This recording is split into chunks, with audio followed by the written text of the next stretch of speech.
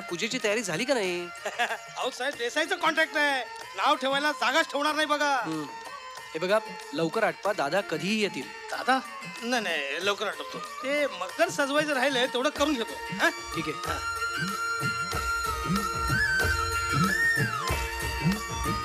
छान काढलेत रांगोळी. दादा आमचं काम झालं आता. आम्ही येतो सांच्याला. मला घरातून हाकलून लावायचा प्लॅन आहे का तुमचा? अं? आमचं काय चुकलं का? आता ताईंना न सांगता गेलात तर ते मला हाकलून नाही का देतील? का? का? अश्विनी! काय ग? न सांगताच निघालात वाटतं. हे वाईट आहे हा? अगं त्यांचं काम झालं म्हणून मी तुला बोलावलं. वय, वय, वय, वय. वय. बरं निघा तुम्ही. पण संध्याकाळी न विसरता पूजेला या. हं? बरं बरं एकट्याच येऊ नका. आपल्या मुलांना पण घेऊन या. वय, वय, त्यांच्या बापाला पण घेऊ येतो. चला चला चला. उरकली कामं? हो. हम्म. सकाळपासून मी आणि वसंता कामात जास्त मागे लागलोय. नऊ वाजल्यापासून देसाई आणि त्याची सारी माणसं बंगला सजवण्याच्या मागे. आणि तुम्ही? आम्हा सर्वांच्या मागे. आता काय करणार? हे बघ एखादं ध्येय ठरवलं ना की त्याच्यामागे धावावंच लागतं. आता बघ ना. मी तुझ्या मागे लागलो नसतो तर आपलं लग्न झालं असतं? बरोबर आहे. काय बरोबर आहे? का आम्हाला लागलं पाहिजे. सकाळपासून त्याच्यामागे हात धुवून लागलो. तवा कुठं आता संपली? हा. मला वाटलं काय वाटलं? काही नाही. असं वाटलं? तू कामं उरकून घ्या आधी. हे काय? हे काय? सांगितलं ना. हात धुवून मागे लागलो कामाच्या. कशा बरं आईच्या घराची झाडलोट झाली की नाही? केव्हाच?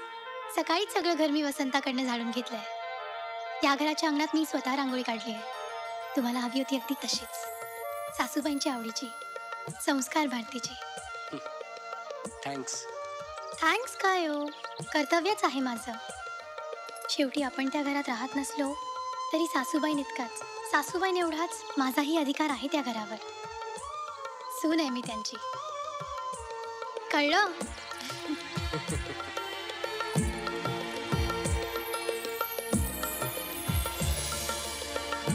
कार्तिक? ए कार्तिक! आलो आलो काका. काय झालं काका? अरे पूजेच्या सामानाची यादी दिली होती. त्याप्रमाणे सगळं सामान आणलंय ना? हो म्हणजे मी वसंताला सांगितलं होतं त्यांनी इथेच सगळं सामान ठेवलं असेल. हा. बघ बघ यादी बघ. कारण मी सांगितलं होतं सामान घेताना त्या त्या वस्तू समोर ठीक करा म्हणून. हो. वसंता! आलो आलो अं, काका तुम्हाला काही लागलं ना? काय दादा? तर तुम्ही वसंताला सांगा हं? बर. अरे हे बघ इथे थांब आणि काकांना जे हवं नको ते बघ हं? हा. मी आलोच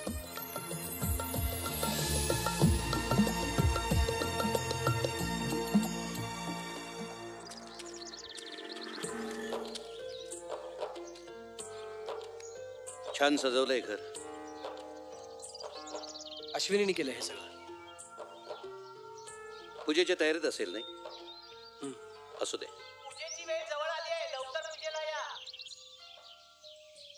जा कार्तिक पूजेला जा. पूजा झाली की आरतीसाठी येतो मी. बर. जा.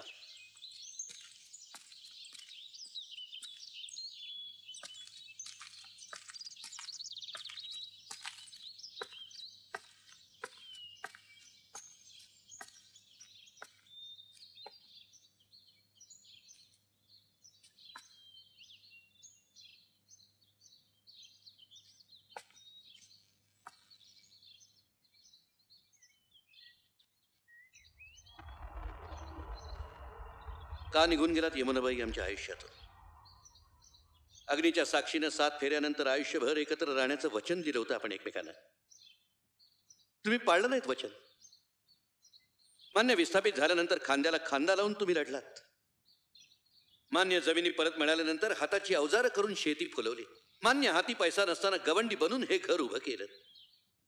मान्य स्वतः अक्षर शत्रू असतानाही मुलाला उच्च विद्या विभूषित केलं.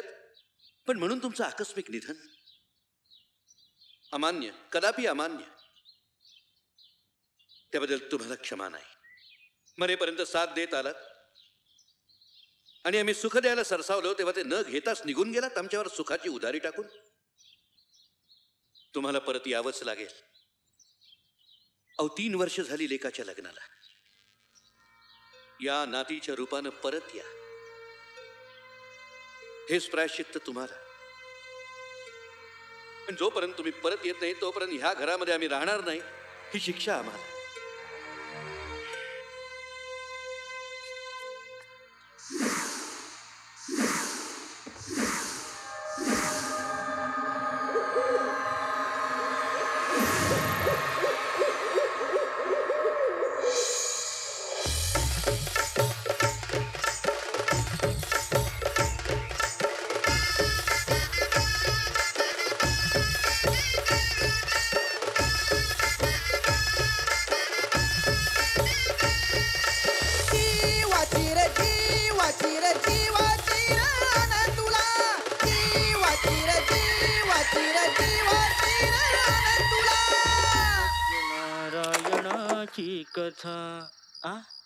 आताच लावलं होतं.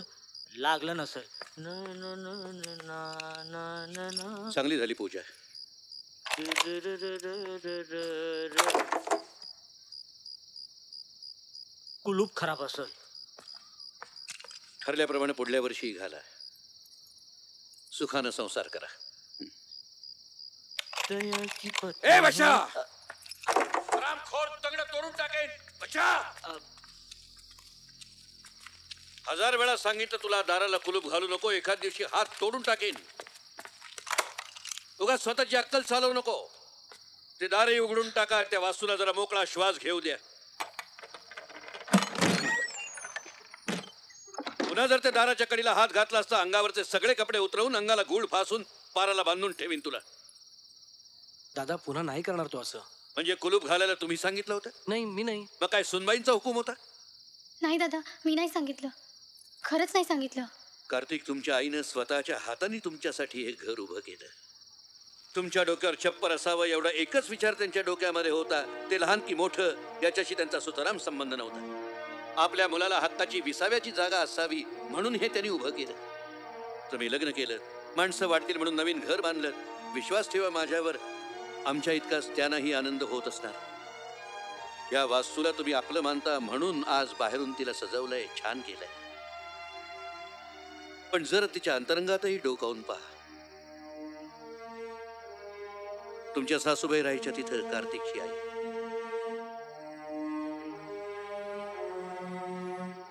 आज हयात नाहीत त्या पण तरीही त्यांचा वास आहे त्या वास्तूत. अनुभवात जाणवेल. त्यांनी तुम्हाला कधी त्रास दिला नाही तुम्ही का देताय तिला? दादा आज कोणाकडूनही चूक झाली असेल तरी सगळ्यांच्या वतीने मी माफी मागते.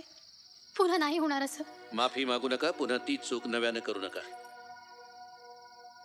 सुखी राहा. दादा थोडंसं काही खाऊन गेलं असतात तर? गेली तीन वर्ष आमचं उत्तर माहीत असूनही तोच प्रश्न आम्हाला करताय. सुनबाई या घराला वंशाचा दिवा द्या वारस. मुलगा किंवा मुलगी काहीही चालेल. तो ज्या दिवशी मिळेल त्या दिवशी तुमच्या हातचं जेवू आम्ही. काळजी नको. विश्वंभर भटांच्या हातचा प्रसाद खाल्लाय आम्ही. येतो.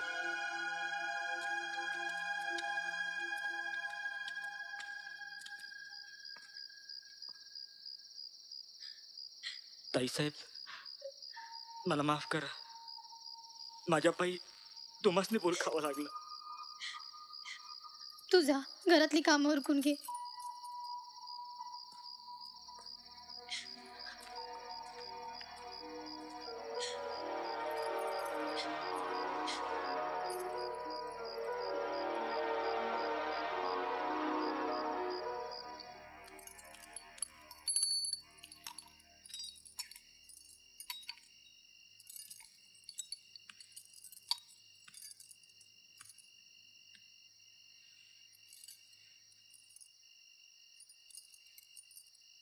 त्यांनी तुला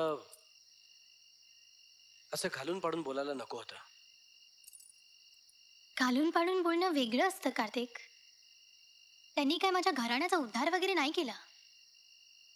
वडिलकीच्या नात्याने मुलांनी केलेल्या चुका त्यांच्या निदर्शनात आणून दिल्या. दरडावून दरडावून म्हणजे? गाव गोळ झाला होता का?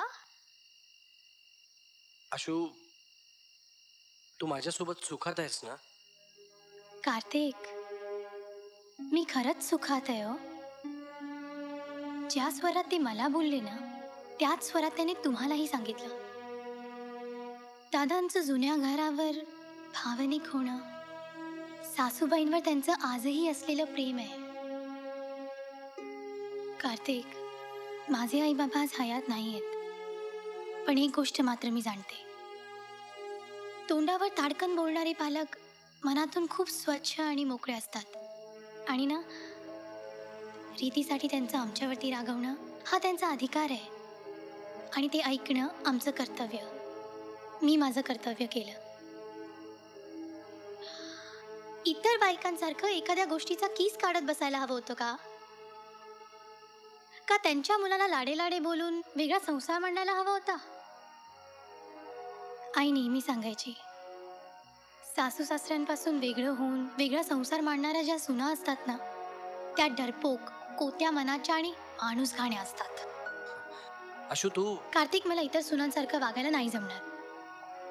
आपल्या सासू सासऱ्यांना हिडीस पिडीस करून इतरांशी चांगलं वागून आपण अप्रतिम सून असल्याचा तोरा मिरवणं मला नाही जमणार. मी फक्त माझ्या सासऱ्यांना समजून घेण्याचा प्रयत्न करते आहे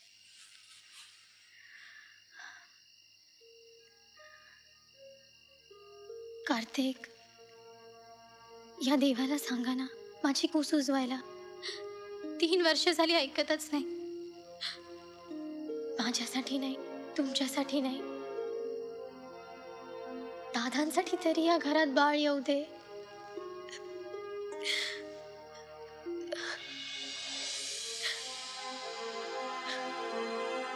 देव सत्यनारायण गावच्या मंदिरात तुझी पूजा घालेन. शंभर भटा ब्राह्मणांना गरिबांना जेवायला घालेन. आमच्या घरात पाळणा हलू दे. या घरातली इडापिडा टळू दे.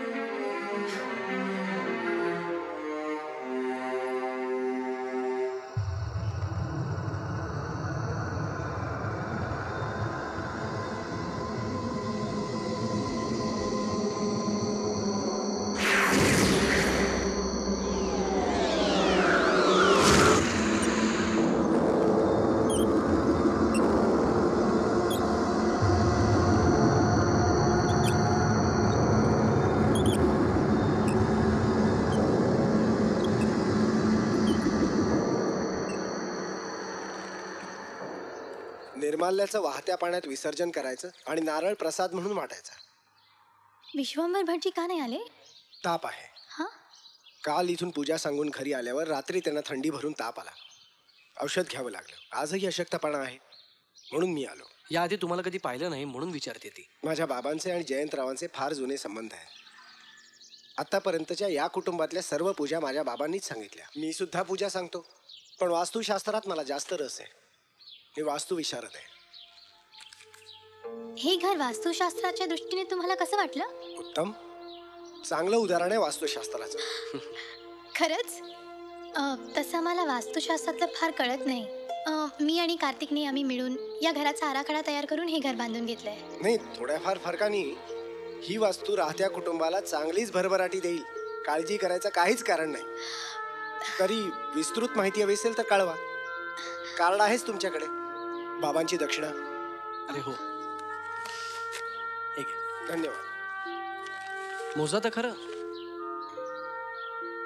काळजी नको.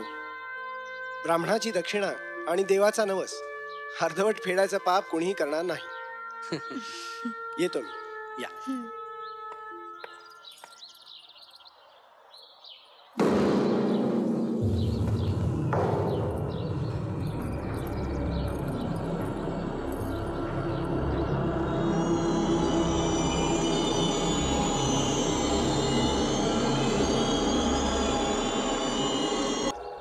चुकीच्या रचनेवर उभं राहिलंय. अशुभ आहे. पण याआधी मी तिथेच राहायचो. आता कोण राहतं? कोणीच नाही. का? कारण आम्ही या घरात राहायला आलोय. चूक. त्या घरात माणसाला थारा नाही. म्हणून त्या घरात माणूस नाही. आणि त्या घराची सावली या घरावर म्हणून या घरात नवीन जीव जन्म घेऊ शकत नाही शकणार नाही.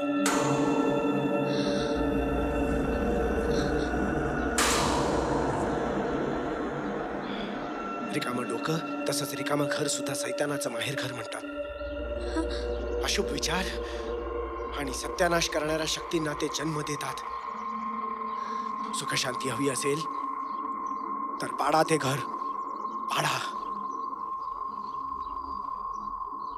परिवारवाडीत मोठा काटा येतो. खरं बोललो म्हणून शिक्षा दिलीस काय?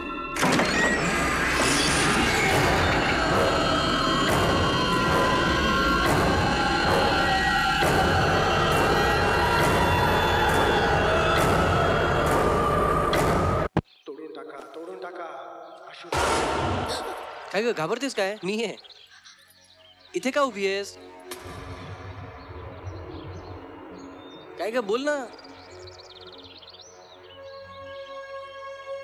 सात वर्षांचा होतो मी तेव्हा बांधले हे घर. पैसे नव्हते आईबाबांकडे. म्हणून आईने स्वतःचे दागिने अगदी मंगळसूत्र सुद्धा गहाण ठेवलं आणि पैसा उभा केला सामान आणलं. आणि दोघेही कामगारांसारखे स्वतःच्या घरासाठी राबलेत. आणि म्हणूनच कॉन्ट्रॅक्टर म्हणून नाही तर मालक म्हणून मी हा बंगला बांधला. अगदी आईच्या घरासमोर तिचं लक्ष राहावं म्हणून. माझाही वास्तुशास्त्रावर विश्वास नाहीये. पण अगं आता स्वतः वास्तुविशारद श्याम सुंदर यांनी आपल्या बंगल्याला वास्तुशास्त्राचा उत्तम नमुना असं प्रशस्तीपत्रक दिलंय. हो पण त्याच वेळी त्यांनी हे समोरचं घर पाडण्याचाही सल्ला दिलाय. आणि तो स्वतः पडला.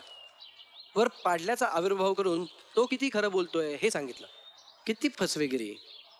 हे बघ अशू जुनी वास्तू पाहिली ना की तिच्याकडे बघून कोणालाही असं वाटणारच ग की ती पाडून तिथे एक भव्य वेगळी वास्तू उभी करावी. त्याशिवाय त्याला महत्त्व कोण देणार?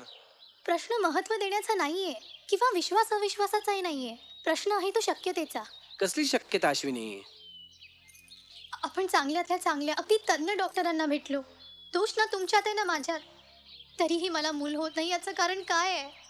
काहीतरी शास्त्रीय कारण असेलच ना. पण म्हणून उगीच आपलं या वास्तूची सावली आमच्या घरावर पडते म्हणून आम्हाला मूल होत नाही. असं मानणं मूर्खपणाचं आहे. सावली याचा अर्थ त्यांना असं तर म्हणायचं नसेल ना की एखादी अतृप्त इच्छा किंवा तंगड तोडीन त्या शाम्याचं माझ्या आईला भूत वगैरे म्हणाला तर. नाही. आणि तुलाही बजावून सांगतोय. तो काहीतरी बरळतो आणि तू त्याच्यावर विश्वास ठेवतेस? काय माहितीये का तुला माझ्या आईबद्दल? प्लीज प्लीज तुम्ही गैरसमज करून घेऊ नका. मी सासूबाईंना बघितलं नाहीये. पण त्याचा अर्थ हा होत नाही की मला त्यांचा आदर नाही किंवा किंवा त्यांच्यावर प्रेम नाहीये. उलट हयात असलेलं आपलं एक माणूस आपल्याला मूल होत नाही म्हणून आपल्याबरोबर राहत नाही ह्याचं दुःख जास्त होत आहे त्यांनी आपल्याबरोबर नाही किमान या घरात तरी राहावं. राहतील. या वास्तूत माणसं टिकत नाहीत असं म्हणाला होता ना तो श्याम्या? या घरातही माणसं राहतील. मी उद्याच माझ्या एका कामगाराचा संसार मांडतो या घरात. या घरात हो या घरात मी नाही वाढलो या घरात लग्नानंतर आपल्या तिघांना हे घर लहान होईल. आपल्याला प्रायव्हसी मिळणार नाही म्हणून मी हा बंगला बांधला. पण म्हणून उठसूट कोणीही काही बोलेल आणि मी ऐकून घेईन हे होणार नाही अश्विनी. या निमित्ताने या घराची झाडलोटही होईल आणि या घराचं पावित्र्यही राखलं जाईल. तरीही एकदा पण दादांना कळवावं असं मला वाटतंय. कळवीन. पण तोपर्यंत हा विषय इथेच संपला.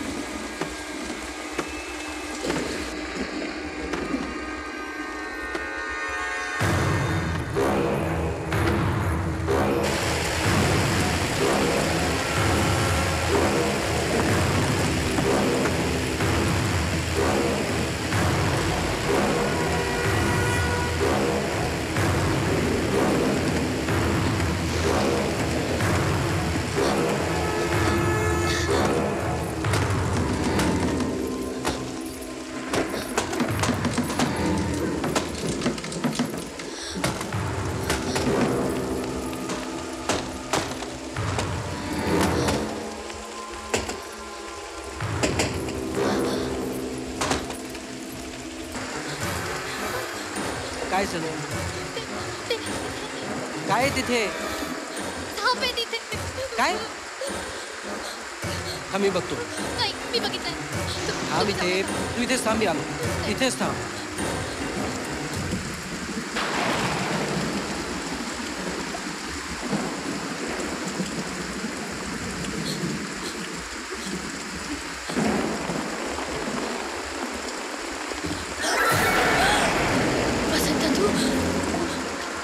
वाटलं?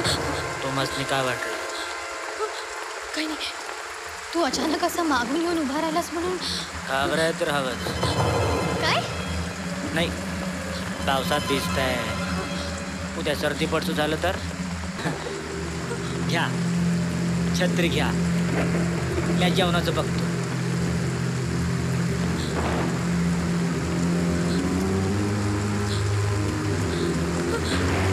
गेली का भीती? तो वसंत काहीतरी वेगळ्या आवाजात. त्याला माहीत आहे का? कशाबद्दल? सापाबद्दल. माहीत नाही नसावी. नाहीतर तो त्या घरात गेलाच नसता. पण तू अशी का भिजतेस? सर्दी झाली म्हणजे? चल.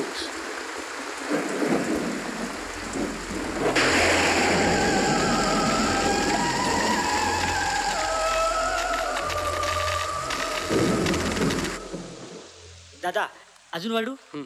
हा हसू नकोस. हे बघ असू नको सांगण्याचा काय अर्थ आहे? जेवायला बसल्यापासून तुझं हेच चाललंय. काय चाललंय त्याचाच विचार करते मी. काय चाललंय? जेवण वाढलंय आणि अजून तू त्याला हात सुद्धा लावलेला नाहीस. त्याने मला सगळं नीट सांगावं काय चाललंय ते. काय सांगावं? म्या काय केलंय? विचारा ना म्या सांगतो. तू मगाशी माझ्या कानाजवळ वेगळ्या आवाजात काय बोलला होतास? अहो म्या तुमच्या कानासमोर कशा पायी बोलू? आणि ते वेगळ्या आवाजात? अ, कवा बोललो? मगाशी. तू छत्री धरली असताना माझ्या कानाजवळ काय बोलला होतास? अव एका छत्री दोन माणसं असताना आणि कानामोर यायची काय गरज आहे बघा सत्य आहे म्या कशा पायी खोटं बोलू? जेव तू अशू जेव. ए बाई हे बघ गरमागरम जेवलीस ना तर तुला बरं वाटेल. का उगीच त्याच्यामागे लागले अ, अहो तो मला वेगळ्या विचित्र आवाजात तुम्ही जे सांगत होता तेच सांगत होता. बिनविषारी साप आई गेल्यानंतर जास्तच दिसायला लागला. अगं हे सगळं मी तुला सांगितलं आशू यांनी नाही. अहो तुमच्या अगोदर हा मला वेगळ्या आवाजात तेच सांगत होता. म्या? अहो म्या कसं एवढंच बोललो. छत्री घ्या मी जेवणाचं बघतो. आणि त्या घरात साप बी आहे हे मला नाही माहीत होतं. बरं झालं तुम्ही सांगितलं. आजपासून त्या घरात जाणारच नाही म्या. मग मला काय भास झाला होता? हो भासच झाला होता तुला. वसंता तू आज जा. हा. तुम्हालाही वाटतं मला भास झाला होता? हो ये.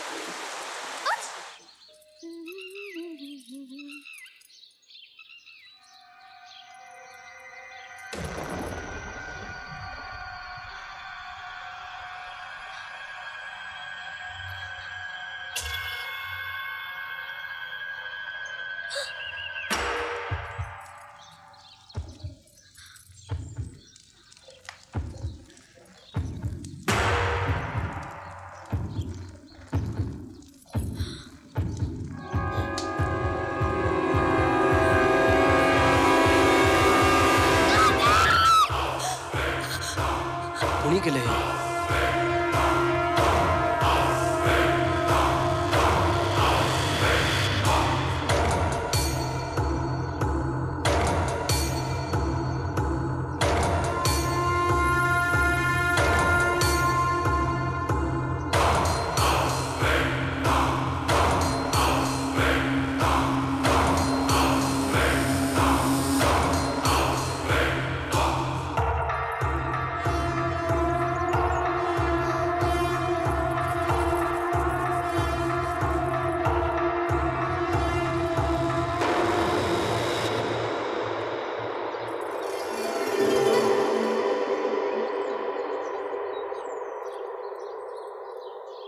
कोणीतरी रात्र काढली आहे इथे. काय? कोण घुसलं असेल आपण पोलिसात तक्रार करूया. वय वय लागलीच जातो. नको बशा का? उगाच लोकांना चर्चेला विषय मिळायचा. अव तक्रार नाही केली तर मोकाट सुटतील ते. मोकळ्या जागेवर आणि एकट्या बाईवर. डोळा ठेवणार लई असतात खरंय वसंताचं. तुम्ही आजच्या आज तुमच्या कामगाराला त्याचा बिऱ्हाड आणायला सांगा. काय? या घरी कुणीतरी येणार आहे?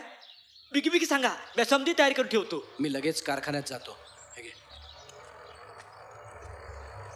वसंता तू लवकर जाऊन ओली कापडं घेऊन ये. होय.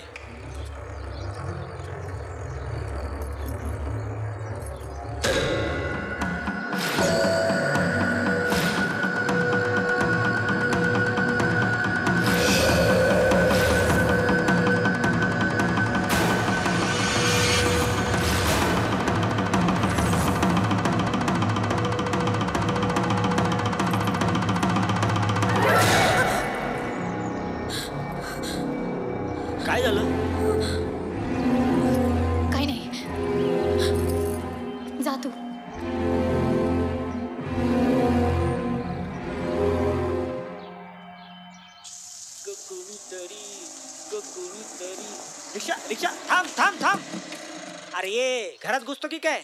बाई कुणाला भेटायला आलात? म्या सगुना. म्या वसंता.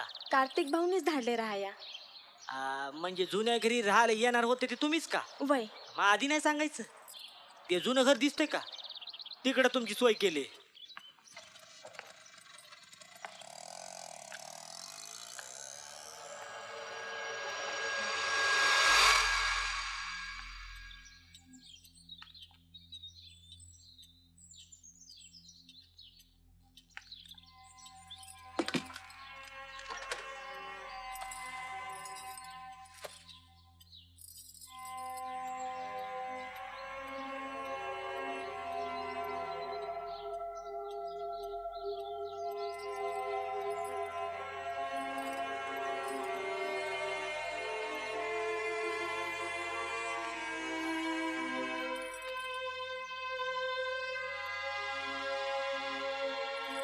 हो ताई हा?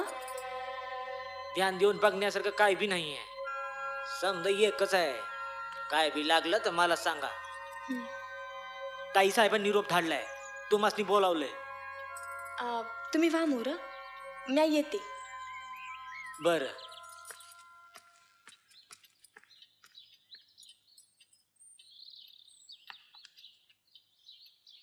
सगुणा. आ? छान नाव आहे. दिसतेस पण गोड. लाजतेस काय? अच्छा तुझं पूर्ण नाव नाही सांगितलंस तू? सगुना संपत साळुंके मालक नाही आले तुझे? आ, ते कामावर जाऊन येतो म्हणले. बरं अ, तुला एक विचारलं तर चालेल का? राग नाही ना येणार? विचारा. तुमचं आधी घर होतं का असंच भाड्याने राहत आहे अगं रडायला काय झालं? तेवढंच बाकी राहिल्यावर माणसाने आणि काय करायचं? म्हणजे? आमचं घर होतं त्यात मी आमचा लहानका संसार बी मांडला होता पण आता काही बी शिल्लक राहिलं नाही. कर्ज फेडलं नाही तेव्हा घर काढून घेतलं हो. रस्त्यावर आणलं. अगं रडू नकोस. पै पै जोडलीस तर पुन्हा होऊ शकेल घर. अव पै पै जोडाया पैका हातात याया हवा. म्हणजे ग?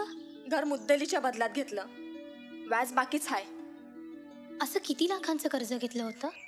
लाखाची गोष्ट कशा पाय करता सताई अव साठ हजार घेतलं होतं. नाही भेटता आलं. व्याज द्या मालकाने मनाई केली तर माझ्या अंगावर हात टाकला त्या हरामजादांनी. माफ करा ताई. अव बंगाल सबूत गेला बघा. नाही ग. मी समजू शकते तुझा राग. तुमची दुसरी सोय होईपर्यंत तुम्ही आरामात राहा इथे. फक्त काही गोष्टी मात्र लक्षात ठेवायच्या. भिंतीवर किडे ठोकायचे नाहीत. घर स्वच्छ ठेवायचं. मी दिवसातून एकदा येत जाईन सासूबाईंना दिवा दाखवायला.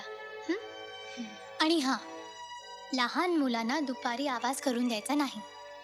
शिसूसाठी घरामागे सोय केली आहे काय ग? हसायला काय झालं? मी तुम्हासने नाही. माझ्यावरच हसले. अव म्या वांज आहे. सहा वरी झाले लग्नास. पॉर नाही. आता होणार बी नाही. त्या घरात माणसाला थारा नाही म्हणून त्या घरात माणूस नाही. आणि त्या घराची सावली या घरावर म्हणून या घरात नवीन जीव जन्म घेऊ शकत नाही शकणार नाही. ताई मी येते आता.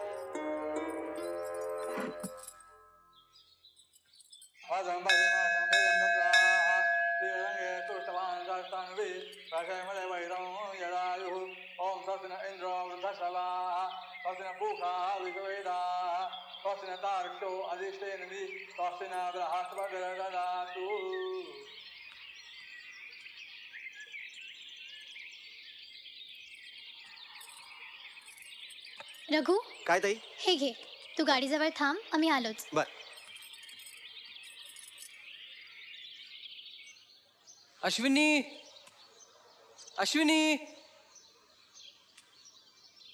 कुठे गेली? अशा. ए वसंता. अरे. कुठे कडमडायला गेला हा?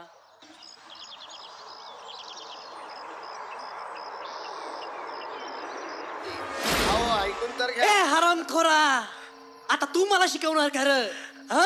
अहो तसं नाही. चुप. हलकट. अरे बुसकट झालाय डोक्याचा बुसकट सगुना नाही कावली. ए माझी व्याजाची सगुना इकडच राहायला येणार होती ना? म्हणजे काय? पेसू भाऊ ही आतली खबर आहे. अहो खोटी ठरणारच नाही. खोटी झाली ना पण. खोटी झाली ना. मी काय म्हणतो विश्वजित भाऊ आ- आता आपण त्यांचं घर घेतलं ना. बस झालं ना. अहो बाईचं मागे लागणं बरं दिसत नाही. बहीण होती का तुझी? मी काय विचारतोय कार बहीण होती का तुझी हं? का तुझ्या मनात भरली होती अरे साल्या दत्ताड्य हं? तुला नाही रे चांगली मिशा दिसत अहो काय करताय आता कशी दिसतीये काय करताय हो? यमुनाबाईंचा फोटो आहे तो. त्याच्यावर ते चांगला दिसणार नाही ना? अरे कशी दिसेल? एकाच बाजूला काढली आहे. आता ये बघ. लई भारी दिसते राव. अहो भाऊ दादासाहेबांच्या त्या- तुझ्या आईचा! त्यो दादासाहेब माझं काय बी वाकडं करू शकत नाही. आणि ही तुझी यमुनाबाई. आधी बाय होती. आता तिचा मी बाप्या केलाय बाप्या. तो बी काय करू शकत नाही. कळलं काय? पण ए साल्या तुझ्या आता तू माझा उसऱ्या आहे माझा उसऱ्या बनूनच राहायचं. दुसऱ्याचा उसऱ्या बनला ना तर तुझ्या तोच अहो.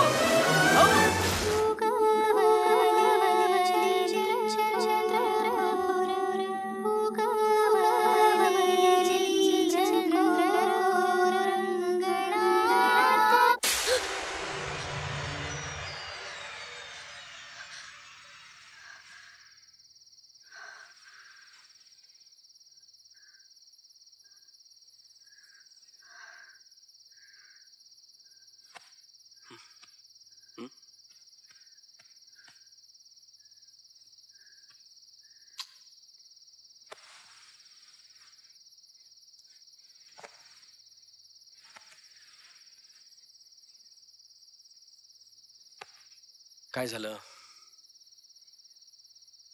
काय नाही. मग अशी अशी उठून का आलीस? झोप येत नाही का? स्वप्न. स्वप्न? हो. आजकाल काही विचित्र गोष्टी दिसायला लागल्यात स्वप्नात. स्वामींचा फोटो पाळणा. अंगणात झोपलेलं जोडपं. अगदी बरोबर. तुम्हाला कसं कळलं? ते बघ समोर. अंगणात दिसतंय तुला जोडपं अगदी असंच मी बघितलं होतं स्वप्नात. पण साडीचा रंग वेगळा होता. अगं वेडाबाई दिवसभर जे तू बघतेस ना तेच तुला स्वप्नात दिसतं. तू कशाला त्रास करून घेतेस?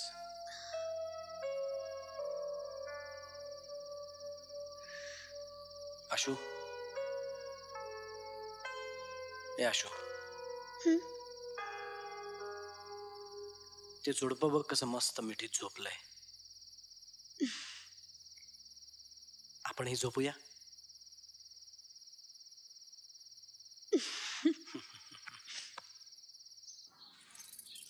ही बघ. ही तुला खूप छान दिसेल. अव ताई पण नव्या साड्या कशा पायी घेतल्या? घेतली नाही ग. मागच्या पूजेला दिली होती ती वापरलीच नाही. बघा घडी बी मोडली नाही. आणि मला देताय? राहू दे ग. सगुणा रात्री झोप लागली ना? वय. मी काय म्हणते एखादा पंखा लावून घ्यायला हवा ना? खूप गरम होत असेल. नाही हो का? नाही. रात्री अंगणात झोपावं लागलं ना? इश्या तुम्हासने कसे कळलं? कळलं आपलं? म्हणजे? तुम्ही रातच्याला आम्हासनी आहा आम्ही डोळे बंद केले होते. कुठल्या खोलीतून आवाज आला ग? काय बी कळे ना थांबी बघते. वय.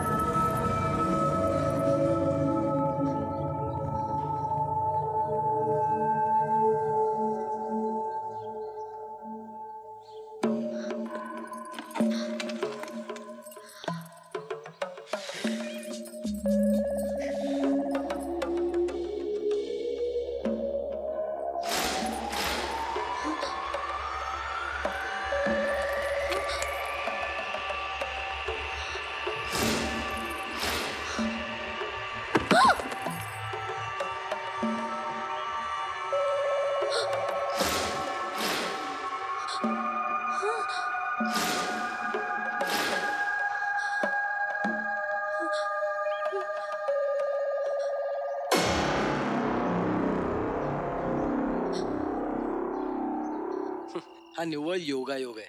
काय? तुला जो स्वप्नात स्वामींचा फोटो दिसतो तोच तुला प्रत्यक्षात सापडणं हा निव्वळ योगायोग आहे. मला स्वप्नात पाळणाही दिसला होता. तोही मला त्या खोलीत दिसला. बरं याआधी मी त्या खोलीत कधीच गेले नव्हते. म्हणजे या सगळ्या गोष्टी त्या खोलीत आहेत हे माहीत असण्याचा प्रश्नच येत नाही. तरीही मला या सगळ्या गोष्टी दिसतात. ह्याला काय म्हणायचं? बरं हे आत्ताच. याआधी कधीच असं झालं नाही. सगुणा त्या घरात राहायला आल्यापासूनच या सगळ्या गोष्टी मला स्वप्नात दिसायला लागल्यात. आणि प्रत्यक्षातही उतरतात. हो. हो काय? एखादं स्वप्न पडलं. योगायोगानं त्या सगळ्या स्वप्नातल्या गोष्टी तुला सापडल्या. संपलं. एवढ्याशा गोष्टी तेवढं गंभीर काय व्हायचं? मला नाही वाटत हा केवळ योगायोग असावा. मग काय दिव्य दृष्टी प्राप्त झाली असं वाटतंय का तुला? उगीच राईचा पर्वत करतेस. प्लीज रागवू नका ना. अगं बाई मी रागवत नाहीये. पण किती अंधश्रद्धा असावी ह्यालाही मर्यादा हवीच ना. बघतेस काय अशी माझ्याकडे चहा पी? P P.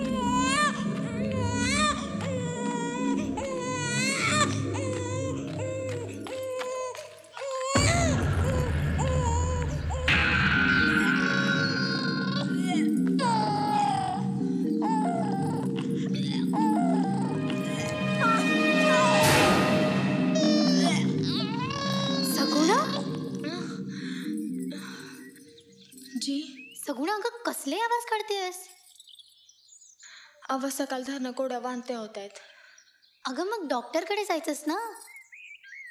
हे आले की जाईन म्हणते.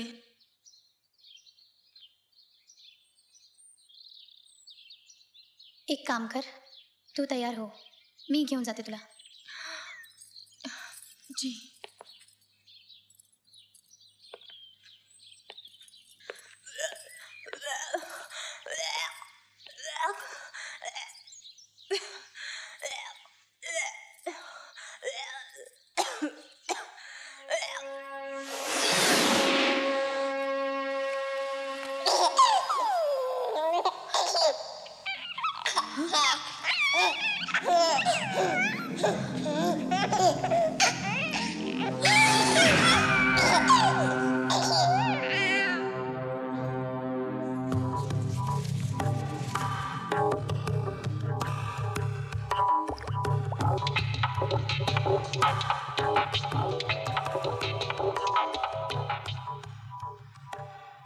त्यांच्या सगळ्या टेस्ट केल्यात. अभिनंदन. त्या आई होणार आहेत. खरंच?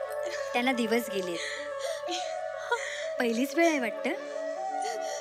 नीट काळजी घ्या त्यांची. हे पहा मी काही गोळ्या लिहून देते टॉनिक म्हणून. त्या त्यांना वेळच्या वेळी द्या. आणि दर महिन्याला तपासणीसाठी घेऊन या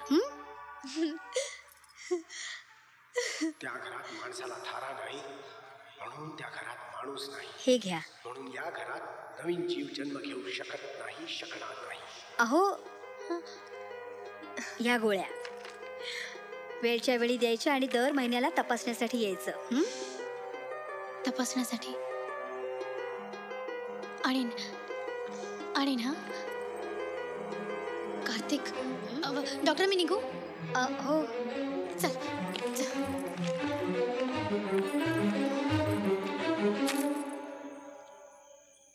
हा रिपोर्ट. कसला?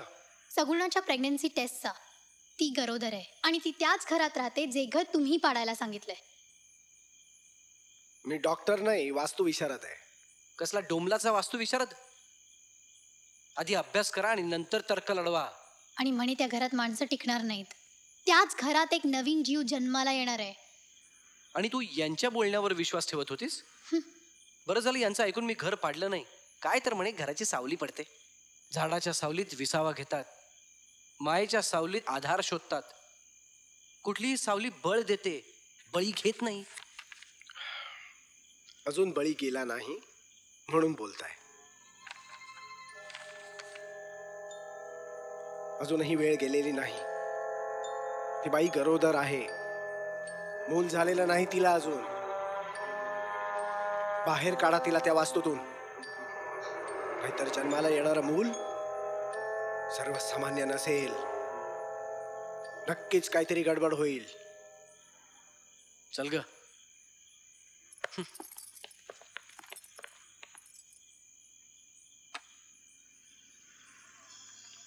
छे.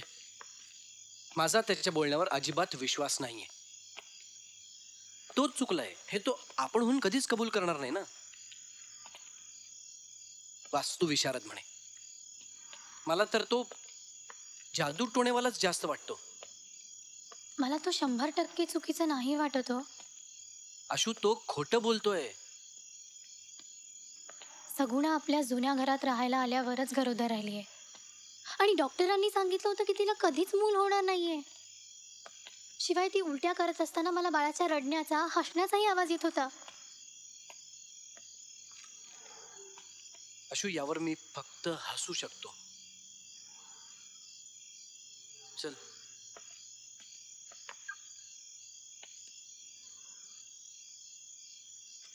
जे घडतंय ते सगळं अनाकलनीय आहे. अशो. चल.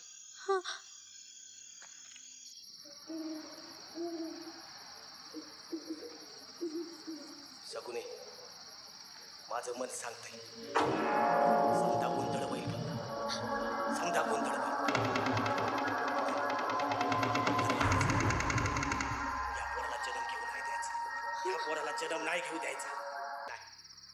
नाही या पोराला जन्म घेऊ नाही द्यायचा. नाही घेऊ द्यायचा. धनी. अव काय बोलतासा धनी? सावारी झालं. आपण ज्यासाठी काय काय नाही केलं एक हकीम सोडला नाही. बाबा आता किती झाले ठाव बी नाही. फक्त पॉर व्हावं मनुष्यान डॉक्टर झाल्यानंतर हे केलं. तरी हाती काय बी नाही गावलं. अन आणि आता होते तेव्हा तुम्ही असं बोलताय सा? अगं तवाची गोष्ट वेगळी होती. तेव्हा पोराची आस होती बघ मला. सवताची जमीन होती. सवताचं आपलं घर होतं. पण आता काय आपल्याकडं? हाय का सवताचं घर? सवताची जमीन आहे का आपल्याकडं? नाही. पोराला जन्म घेऊ द्यायचा नाही आपण. काय होऊन नाही द्यायचा? सगुने आपल्या दोन तोंडासाठी तुमचे दोन हात काम करत होते. आता अनेका तोंडासाठी मॅ काम करेन. पण पौराला जन्म द्यायचा. अगं मारू औरा स्वतःला? बघा ना ताई आहे माहीत आहे मला. काहीही झालं तरी तू या बाळाला जन्म द्यायचास. मी बघते कोण अडवते तुला. अहो ताई रीता झालोय मी. गावाकडची जमीन घरदार समत सावकाराने छिल्लया कर्जापायी गळ्याला फास लावून जीव द्यायचा कांडूपाना जमत नाही. म्हणून चिता आहे हिच्यासाठी हिच्यासाठी बघच तुमच्या धाकल्या बालकाच्या फॅक्टरीत राबतोय. हिच्यासाठी करतोस ना? तसंच होणाऱ्या बाळासाठी कर. काय करणार ताई? सांगा ना काय करणार? अहो आमचं असं आहे. उपकाराच्या भाकरी खाली आग लपवता लपवता लपत नाही आमचं. बघता येते पण समोरचं काय बी दिसत नाही. समजा अंधार आहे बघा. अहो स्वतः अंधारात असताना जन्म घेणाऱ्या पोराला काय रस्ता दावणार आम्ही? कंच्या रस्त्यावर चालवणार? त्यापेक्षा जन्माला येऊन मरण्यापरीस. ते पोर आधीच मारलेलं बरं. वेट लागलं का तुला संपत?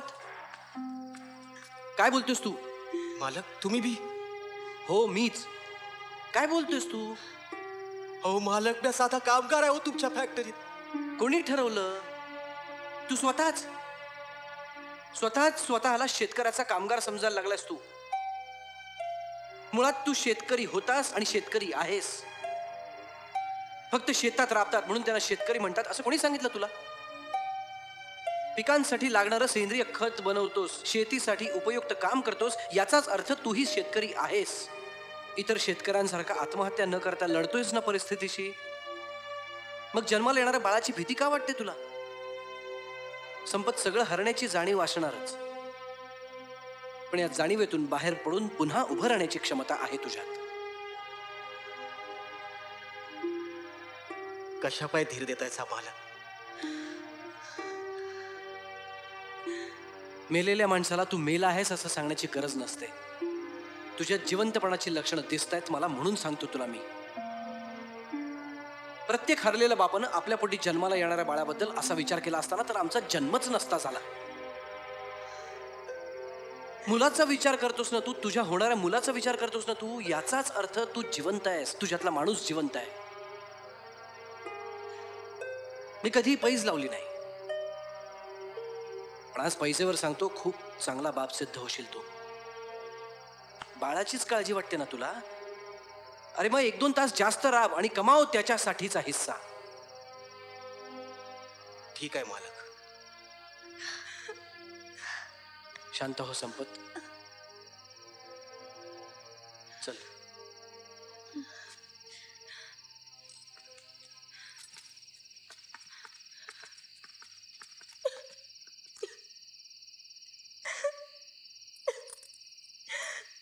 सगुने. अगं हातातलं समत गेलं. पण तुझ्या पायी जगलो म्या. आता एक लक्षात ठेव. पोराला जन्म नाही दिलास ना? तर जीव घेईन मी तुझा.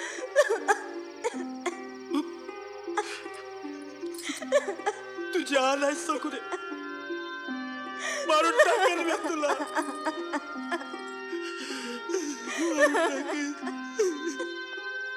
कार्तिक अहो तुम्ही का आलात? झोपेतून उठून बायको कुठे निघाली हे बघत निघालो आणि इथे पोचलो. अहो संपत भाऊ संपत भाऊ चाकू मारताना मी मध्ये आले आणि मलाच लागला. काय? कुठे? प्रत्यक्षात नाही मला स्वप्नात दिसलं असं. पुन्हा स्वप्न. स्वप्नातून जागे झालीस की ये झोपायला. अहो अहो मी खरं सांगते. मला स्वप्न पडतात आणि ती खरीही होत आहेत. माझं ऐका ना प्लीज. कार्तिक! अहो प्लीज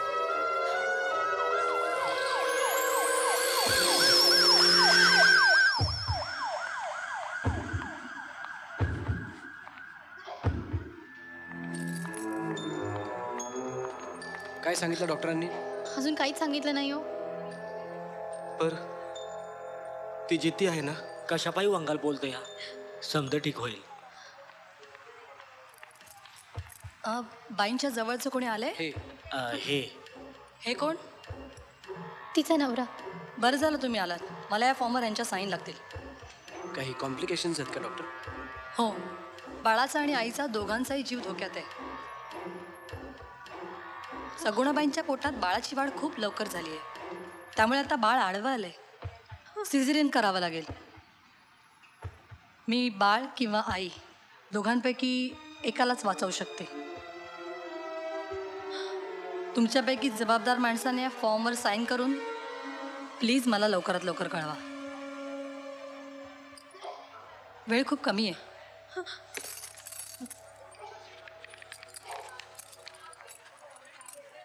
बाळच जगायला हवं.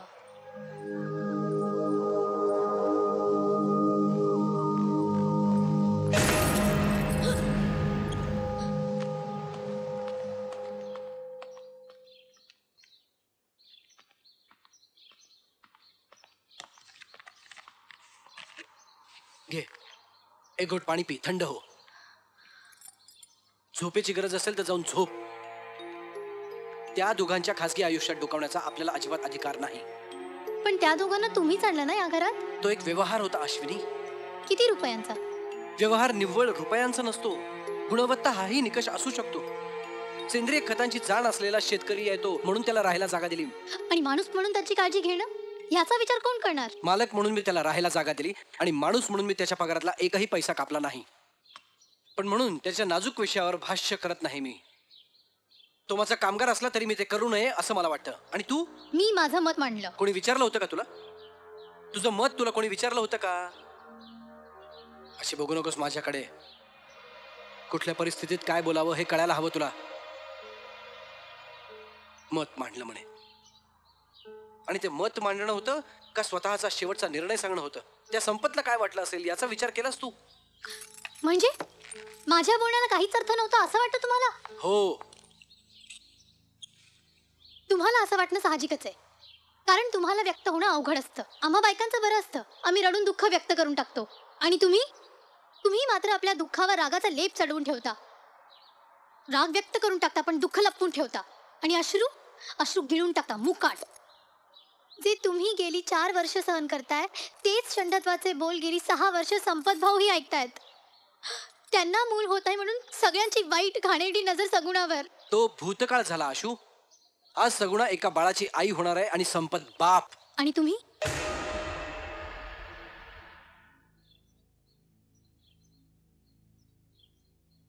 हे हे तू बोलतेस आशू? मी नाही पण आजूबाजूची माणसं समाज? कोणाचं ऐकत बसलेस तू अश्व ज्यांचं घर व्यवस्थित चालावं म्हणून तू ज्यांना मदत करतेस त्यांचं? का?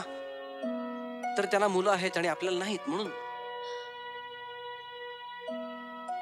किती बालिश विचार आहे हा आशू.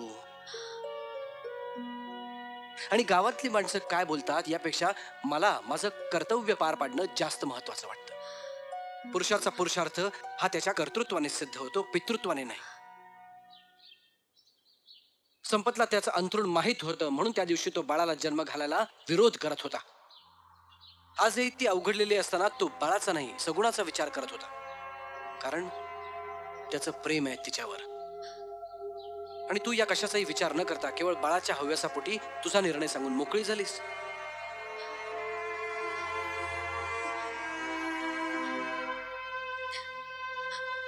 पटतंय मला. पण पण काही क्षण मी काय बोलले ते मला कळलंच नाही.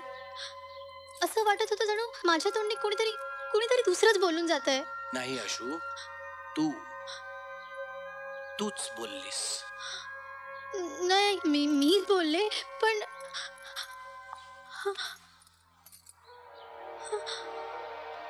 थकली असशील. आराम कर. हॉस्पिटलमध्ये जायचंय मी जाईन. बाळाची डिलिव्हरी झाली की तुला कळवेन ओके? बाळाला बघायचंय. ती दिसायला व्यवस्थित असेल ना? नाही श्यामसुंदर म्हणत होते तसं. हं.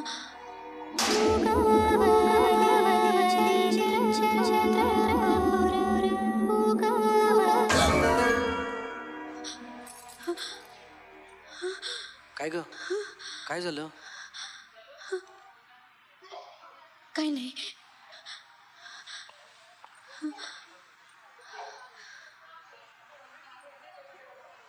पुन्हा तेच स्वप्न बघितलंस? त्यांना भेटायला कधी देणार आहेत म्हणाले. ते सांगायला येतील म्हणालेत. तोंडावर पाणी मारून घेतेस? नाही नको. साळुंक्यांचे नातेवाईक? काय झालं? सगळे एकदम जाणार असाल तर आवाज करू नका.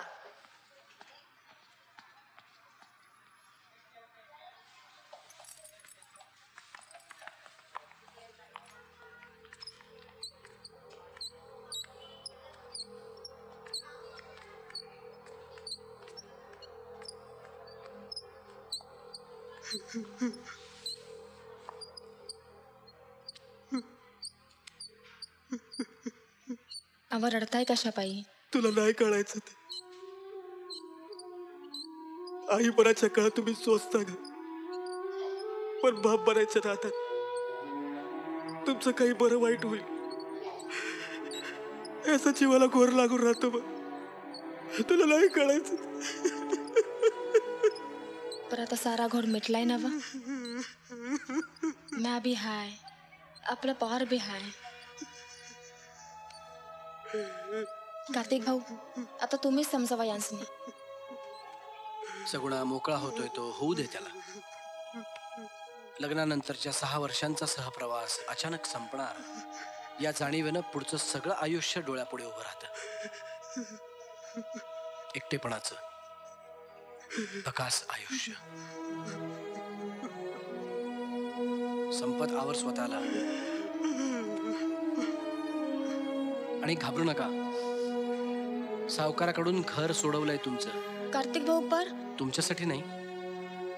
तुमच्या बाळासाठी. आता आई बाबांनी उभ्या केलेल्या घरात जाईल तुमचं बाळ.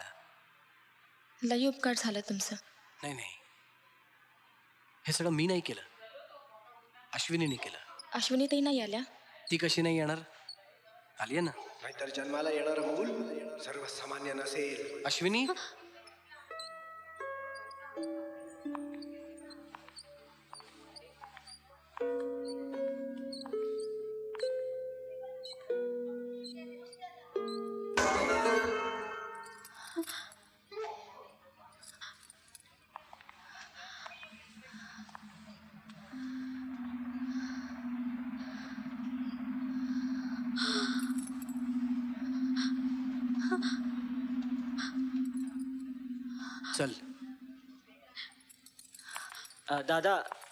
आता कोणीकडे निघालात महत्वाचं काम आठवलं. मी येईपर्यंत किंवा माझा फोन येईपर्यंत इथून हलू नकोस.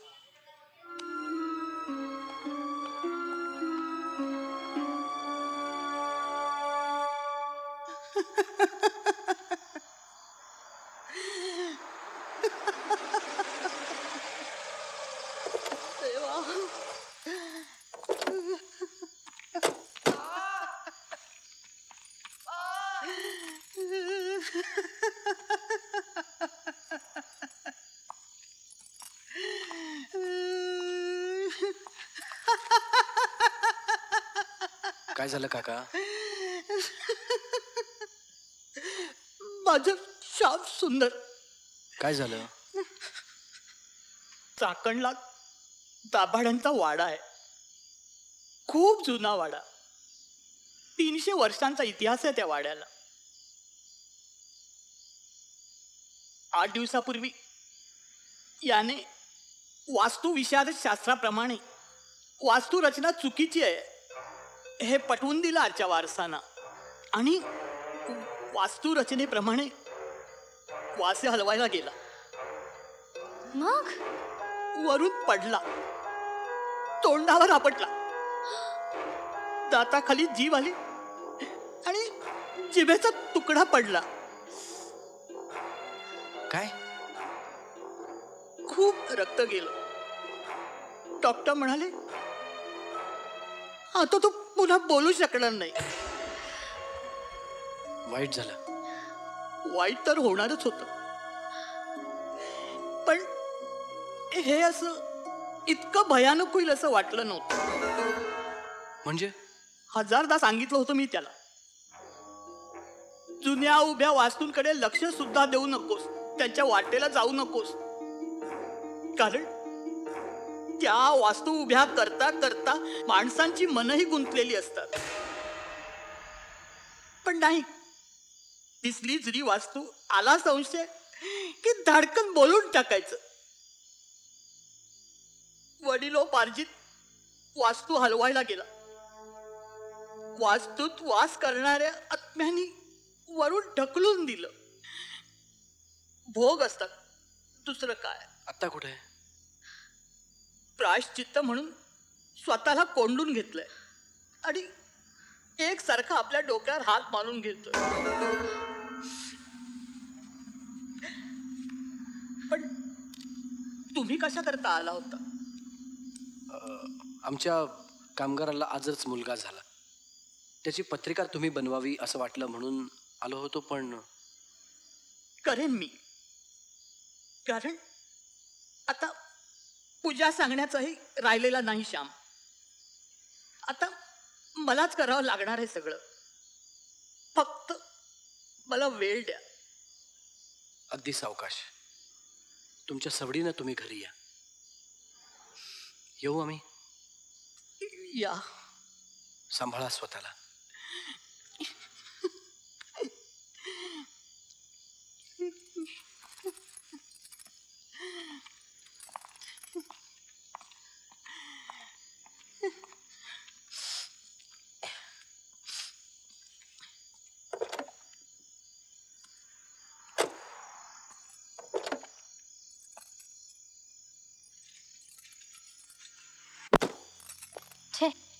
श्यामसुंदरनी असं कपाळावर मारून घ्यावं. त्याने स्वतःच ती वेळ आणली होती. बरोबर आहे. त्याने असं अभद्र बोलायला नको होतं. अभद्र? नाहीतर काय? घरात जन्मणारा बाळ म्हणे तुम्हीच सगुणाचं बाळ पाहिलं ना? हो.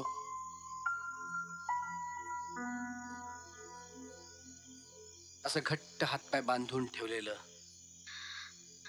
शांतता चेहऱ्यावरती. गोड दिसत होत. निर्मळ. मग श्यामसुंदरनी आपल्याला खोटं का सांगितलं? की बाळ जन्माला येईल पण त्यात काहीतरी दोष असेल म्हणून? मूर्ख होता तो. म्हणूनच भोगतोय. खरंय. म्हणूनच भोगतोय. शिक्षा दिली त्याला. शिक्षा? हो. कोणी? आपल्या जुन्या घरातल्या अदृश्य अस्तित्वाने.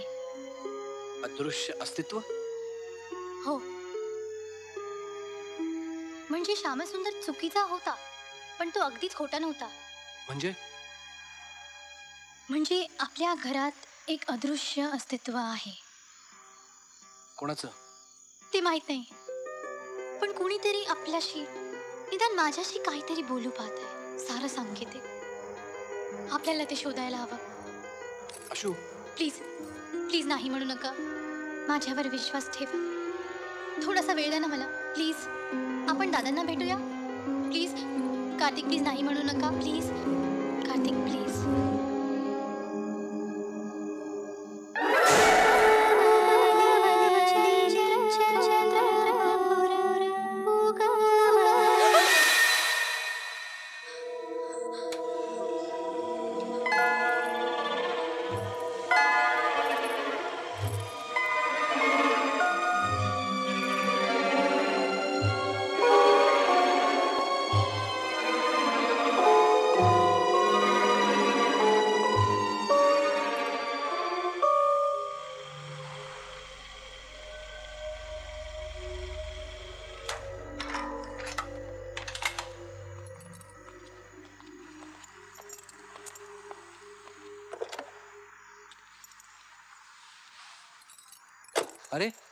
उठलीस? मस्त डोळा लागला होता तुझा. काय झालं? झोप येते का? झोप ना अजून. दोन अडीच तासांचा पल्ला आहे. झोप. आपण चहा घेऊया? इथे फक्त पेट्रोल मिळेल. पेट्रोल पंप आहे ना? जाऊया पुढे हॉटेलवर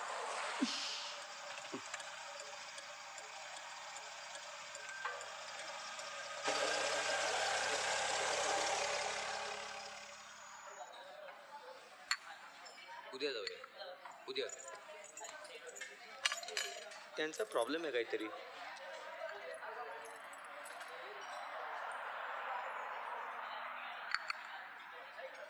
काय? फ्रेश वाटतंय का आता? नाही अजून. पण चहा तर बऱ्यापैकी गरम आहे. मी चहाबद्दल बोलत नाहीये. मग कशाबद्दल बोलतेस?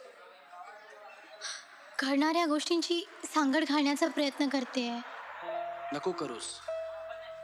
करू नकोस. घडणाऱ्या गोष्टी घडत असतात. आपण त्यांच्याकडे तिराईत नजरेनं बघायचं असतं.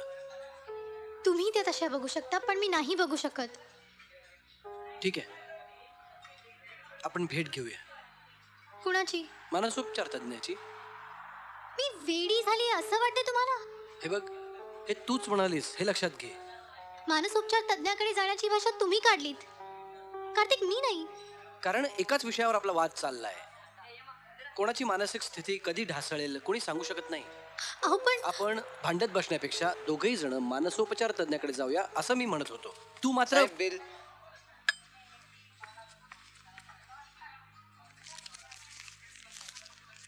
मी बाहेर थांबलोय.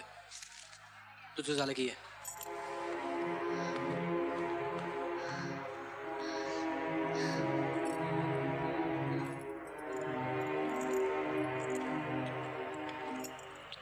कधी निघूया?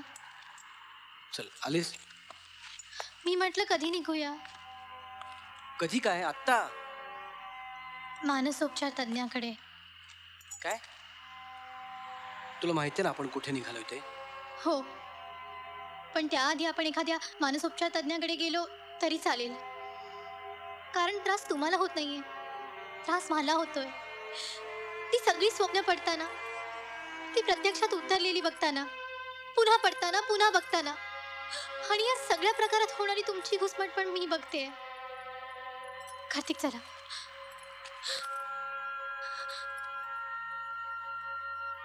शांत हो. एवढं सगळं कळूनही मानसोपचार तज्ञाकडे जाण्याची काय गरज आहे?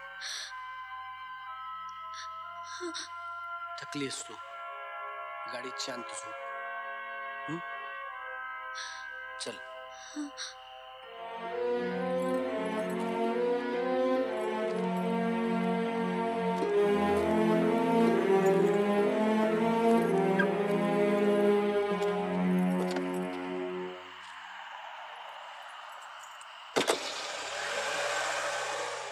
सुनबाई उडाली का झोप? वर्ष झालं आम्हाला आता शांत झोप लागते. यमुना गेल्यानंतर चार वर्ष त्या स्वप्नाने सतावलं होतं आम्हाला. सरपटणारा साप सजवलेला पाळणा सजवलेलं जुनं घर घरासमोर घातलेली रांगोळी सगळं सगळं दिसायचं. म्हणजे ही सगळी स्वप्न तुम्हाला सुद्धा पडायची? काय कानडीत बोलतोय का मी? या स्वप्नांचा अर्थ काय असेल दादा? चार वर्षात आम्हाला समजलं नाही. आम्ही तर समजून घेण्याचा प्रयत्नही केला नाही. म्हणून तर ती तुमच्या मागे लागली नसेल ना? ती कोण? यमुना तुमची सासू. पण त्या तर मरण पावली असंच म्हणायचं ना तुम्हाला. हो. पण तरी तिचा त्या स्वप्नांशी संबंध आहे. कारण ती गेल्यानंतर ती स्वप्न आम्हाला दिसायला लागली असं आम्हाला वाटतं. सानेबाईंच्या घरी राहायला आवडायचं तिला. धरणाच्या पाण्याखाली जमीन गेली तेव्हापासून सानेबाई तिची मैत्रीण. सानेबाई मी आहे तुमच्या संकट मी पण आहे तुमच्या बरोबर मी अभि हाय मी अभि हाय मी पण आहे तुमच्या बरोबर मी पण आहे मी आहे मी पण आहे मी पण आहे तुमच्या बरोबर मी पण आहे मी पण आहे मी पण आहे तुमच्या बरोबर मी पण आहे मी पण आहे तुमच्या बरोबर मी अभि मी पण आहे तुमच्या मी अभि आहे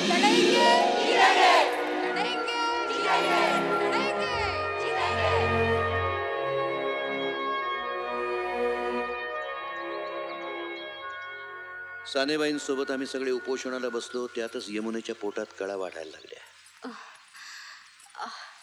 काय होते? यमुना? रखमा घेऊन जा बरं हिला. काळजी करू नको हा? सावकाश. सावकाश. आमच्यासोबत उपोषणाला बसलेल्या बायकांनी तिला बाजूच्या खोपटात नेऊन मोकळी केली.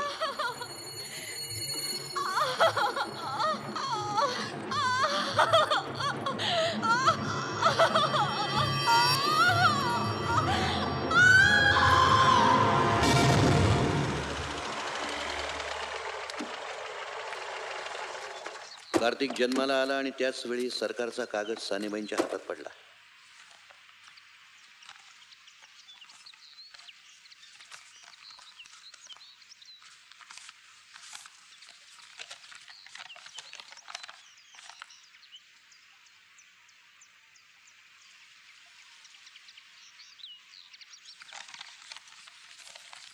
धन्यवाद. आम्हा विस्थापितांना घरासाठी आणि शेतीसाठी जमिनी मिळाल्या. ज्या जमिनीवर आपलं जुनं घर उभं आहे ती जमीन सरकारनं आम्हाला दिली आणि आपलं घर उभं राहिलं.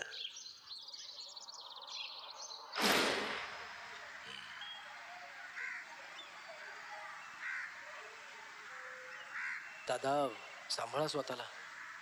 या दिवशी सानेबाई सोबत तिच्या घरी गेली ती परत न येण्यासाठीच. दादा ही सगळी स्वप्न तुम्हाला आणि अश्विनीलाच का पडतात? मला का पडत नाहीत?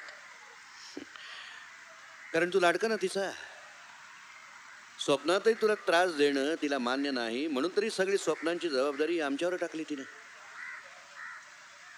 आज तुम्हाला सांगायला हरकत नाही. तुमच्या लग्नानंतर ह्या घरामध्ये अडचण होईल म्हणून मी पुण्याला राहायला जातोय असं जे मी तुम्हाला सांगितलं होतं ते खोटं होतं. मुळात तुमचा प्रेमविवाह मला मान्य नव्हता.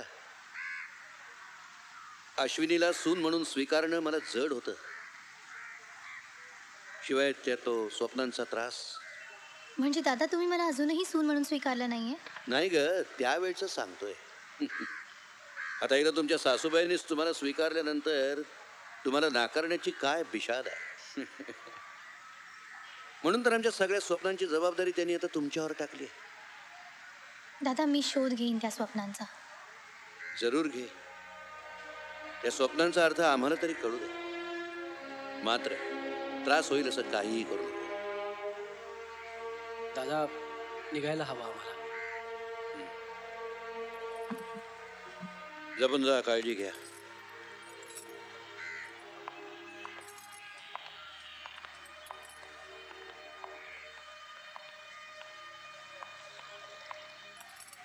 दादा सानेबाई कुठे राहतात?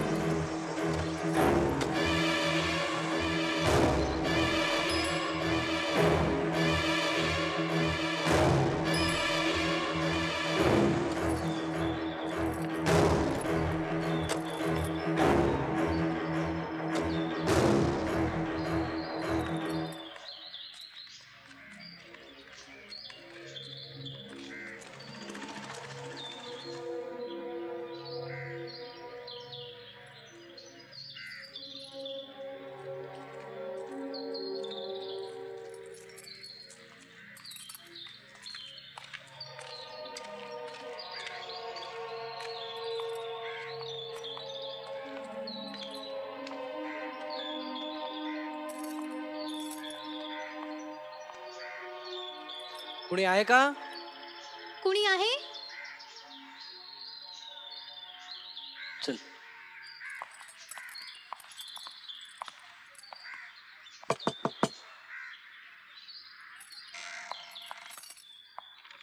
कुणी आहे का घरात? कुणी आहे का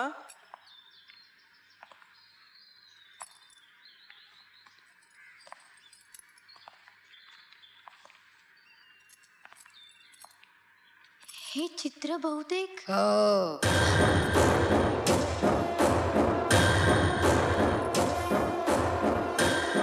काढली मीच काढली आहे ती चित्र. तुम्हाला आणि जगाला माझ्या चित्रांचा सुद्धा त्रास होतोय का? चालते वा ही दुनिया माझी आहे. माझं जग आहे. इथे फक्त माझं सरकार चालतं.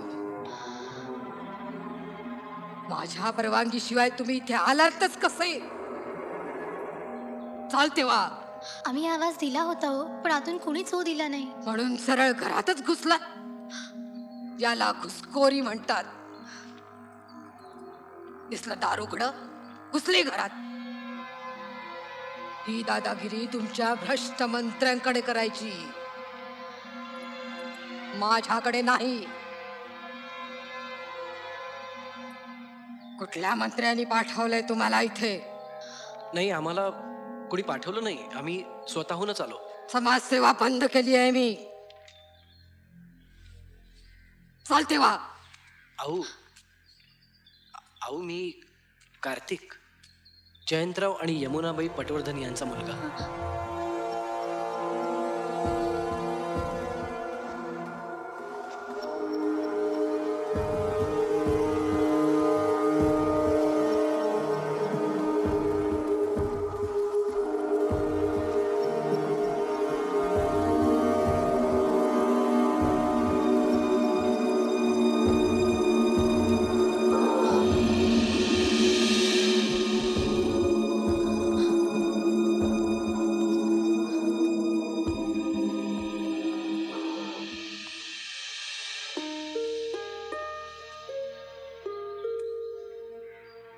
हिचाच का तू? हो.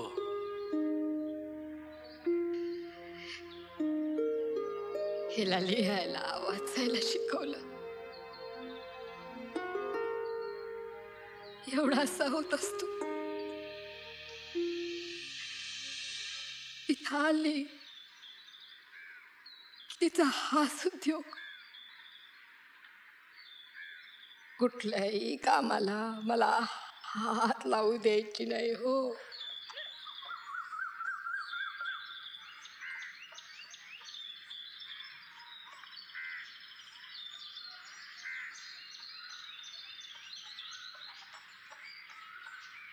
काय लिहितेस? असंच. असंच? हां असंच. वाचून तरी दाखव. असंच काय लिहितेस ते? वाचून दाखव. वाच. मी ऐकते. मी यमुना. माझं नाव यमुना. यमुना जयंत पटवर्धन. पुढे वाच. आमची सानेताई आम्हाला लढेंगे जितेंगे शिकवणारी. हे तू लिहिलेस? हां. आण ती वही इकडे आण बघू. आण.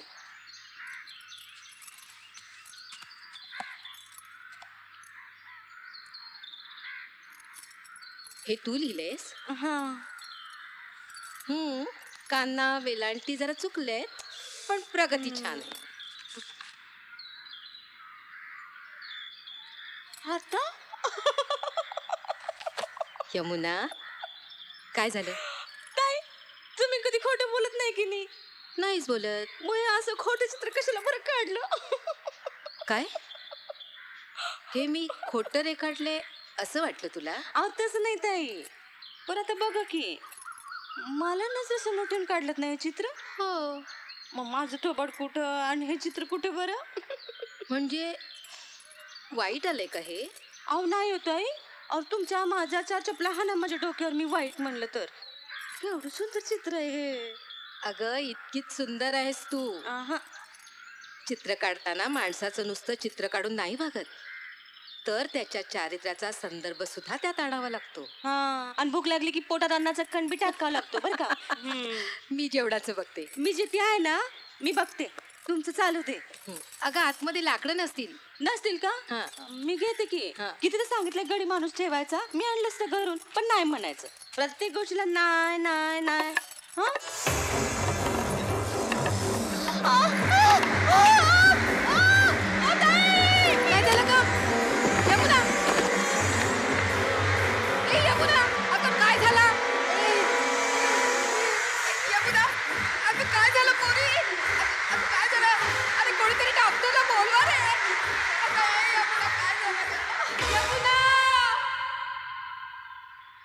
सापाचं विष दोन मिनिटात तिच्या रक्तात भिनलं आणि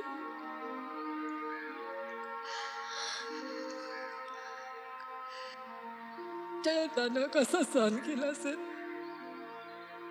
ते त्यालाच माहीत. त्यांनी काय सहन केले हे मलाच माहिती आहे म्हणूनच आम्ही तुमच्याकडे आलोय. म्हणजे? मी नाही समजले. मला वही हवी आहे सासूबाईंची. हा? बघायला हवी. इथेच कुठेतरी असेल. शोधायला हवी.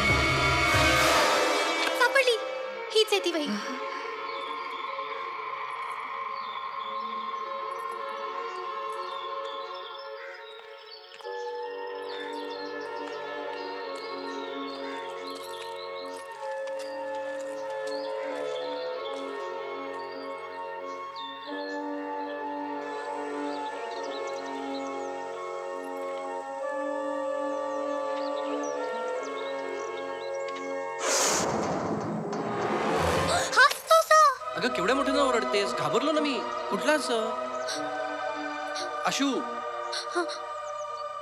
मला स्वप्नात दिसणारा हा तोच आहे बघा. चला म्हणजे तोही सापडला आता. हो ना. आता पुढे?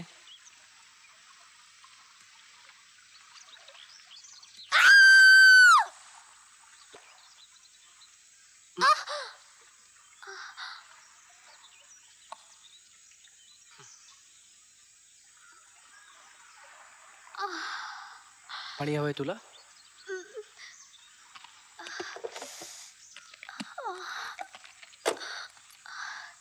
ओ शेट काय चाललं? टायर पंक्चर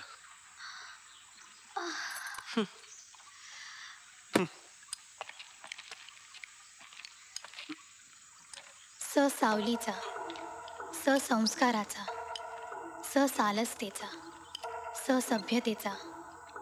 स समजावण्याचा स समजून घेण्याचा स सन्मानाचा स सणांचा स सुवासिनीचा स सासरचा स सोयऱ्यांचा स माझ्या घरात माप ओलांडून येणाऱ्या सुनेचा आणि स स सासूचा.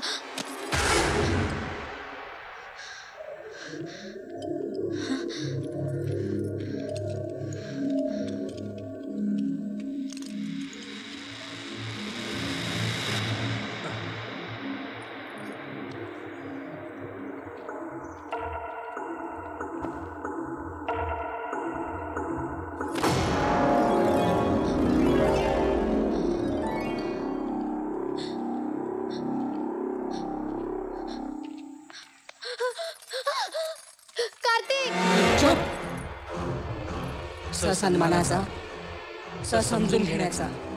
माझ्या इच्छांचा आदर नाही. मी ठरवलं ना तर फेकून देईन तुला आत्ता. तुला उत्तर हवी होती ना? मग ती मिळाल्यावर पळतेस का अशी? जा. आता तुला समजावणार नाही.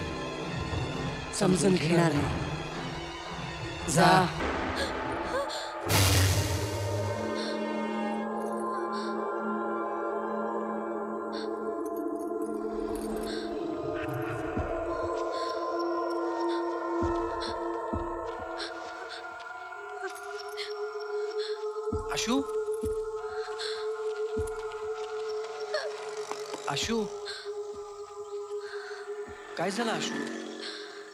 आशू काय झालं? कार्तिक तुम्हाला दुसरं लग्न करावं लागेल. हे बघ आपण मानसोपचार तज्ञाकडे लगेच जाऊ. तरीही तुम्हाला लग्न करावं लागेल. काय बोलतेस तू? आपला प्रेमविवाह झालाय. माहीत आहे मला. चार वर्ष झाली. आणि तरी तू असं म्हणतेस की मी दुसरं लग्न करावं? हो. हो काय अश्विनी? आयुष्यभराचा जोडीदार म्हणून मी फक्त तुझ्याकडे बघू शकतो. आणि दुसऱ्या कोणाकडेही नाही. मला तू हवी आहेस अश्विनी. आयुष्यभर. नाही मूल झालं तरी चालेल. हे बघ अश्विनी मी वास्तवात जगतो. मीही. पण दुसऱ्यांच्या इच्छांना पायदळी तुडवून वास्तवातच काय? तर स्वप्नात सुद्धा मी जगू शकत नाही. नाही निदान या क्षणी तरी नाही. म्हणजे तू दादांबद्दल बोलतेस? दादांनी स्वतः कबूल केलंय ते चुकलेत. आज त्यांनी तुला सून म्हणून स्वीकारलंय. नाही दादांबद्दल नाही. आईंसाठी त्यांनी लिहिलेल्या इच्छेंसाठी त्यांच्या समाधानासाठी तुम्हाला दुसरं लग्न करावंच लागेल. ते शक्य नाहीये. माझं प्रेम समाज. अगं दादा तेही हेच म्हणतील. मी बोलेन त्यांच्याशी वहीतल्या इच्छेंबद्दल. दादा तुम्ही काहीच बोलत नाही आहात. काय बोलणार आम्ही? आधीच तुम्ही प्रेमविवाह केला आता आम्ही काही बोललो नाही. म्हटलं नवीन पिढी आहे नवीन विचार आहेत. आता कार्तिकचं दुसरं लग्न? हे दुसरं लग्न म्हणजे अविचार आहे. काय बोलणार आम्ही? दादा तुम्हीच मला स्वप्नांचा शोध घ्यायला सांगितला होता ना? शंका आली म्हणून आम्ही सानेबाईंना भेटायला गेलो. आणि स्वप्नात दिसणारी म्हातारीबाई म्हणजे सानेबाई होत्या याची खात्री पटली. स्वप्नात दिसणारं स अक्षर सासूबाईंनी लिहून ठेवलेलं या वहीतलंच. आपल्या मुलाचं लग्न आपण बांधलेल्या घरात त्याच्या अंगणात व्हावं. आपल्या सुनेनं आपण बांधलेल्या घरात मापटं ओलांडून प्रवेश करावा. हीच सासूबाईंची इच्छा होती. पण असं झालं नाही. कारण आम्ही रजिस्टर मॅरेज केलं आणि नवीन घरात राहायला गेलो.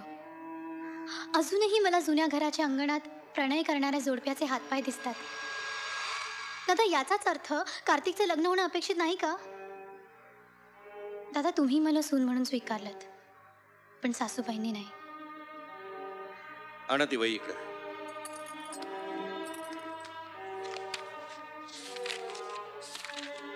पुढं काय करायचं ठरवलंय?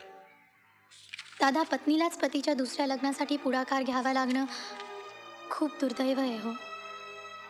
पण या लग्नामुळे जर सासूबाईंना बरं वाटणार असेल त्या घरात सगळं सुरळीत होणार असेल तर मान्य आहे मला हे लग्न. खरंच खूप त्रास होणार आहे हो. पण ह्या घराच्या सुखाचा आनंद त्यापेक्षा खूप जास्त आहे हो. एकदा लग्न लागलं की मी लग्न मंडपातून निघून जाईन. लग्नाच्या दिवशी लग्न मंडपामध्ये कुठेही तुम्ही दिसणार नाही असं होणार असेल तर या लग्नाला आमचा विरोध आहे. दादा सुनबाई या लग्नाचा त्रास तुम्हा दोघांपेक्षा आम्हाला जास्त होणार आहे. एखाद्या अडगळीत पडलेल्या बाहुलीसारखं लग्नाच्या मंडपात कुठेतरी कोपऱ्यात तुम्ही दिसणार. नाही बघवणार आम्हाला. कळतंय का तुम्हाला मी काय म्हणतोय ते? ठीक आहे.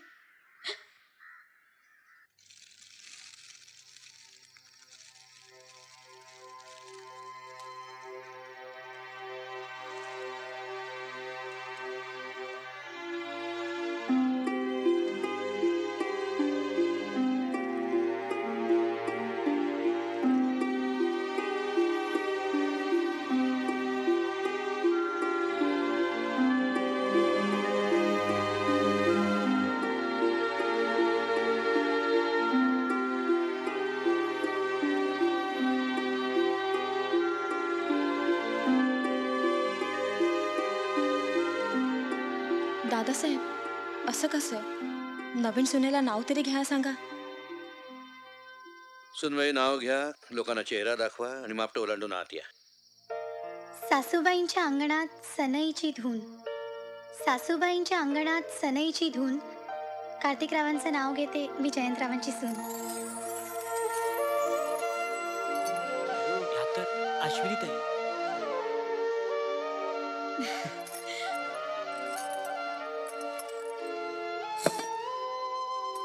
आशू पण तुम्हाला हे सांगितलं का नाहीस?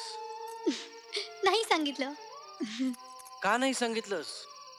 दादांनीच मला तुम्हाला सांगू नको असं सांगितलं होतं. रडताय कशाला? काय चुकीचं बोललो का आम्ही?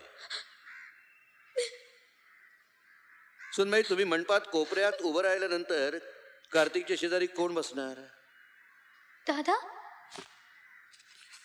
कार्तिकचं लग्न जुन्या घरामध्ये व्हावं नव्या सुनेनं जुन्या घरामध्ये मापटं ओलांडून यावं ही यमुनेची इच्छा असू शकते. पण त्यासाठी तिनं कार्तिकचा दुसरा विवाह करावा असं कुठं म्हटलंय यात? या उलट कार्तिकचा आणि तुमचा जर पुनर्विवाह झाला तरी सुद्धा यमुनेच्या तिनं लिहिलेल्या इच्छा पूर्ण होऊ शकतात. काय बरोबर आहे ना? मी कार्तिकला सांगते. अजिबात नाही. ते उगाच काळजी करत असतील हो. काही होत नाही. जरा गंमतच करूया आपण त्याची. त्याला काय सांगायचं ना ते मी सांगेन. थोडासा आनंद आम्हालाही घेऊ द्या. अच्छा. म्हणजे मी लग्नभर धुसफुसत होतो आणि याचा आनंद दादाने लुटला. त्यांनी एकट्यांनीच नाही मीही. काय आहे आशू? किती वाईट आहे हे? हम्म, रागावला राजा. गंमत केली ना?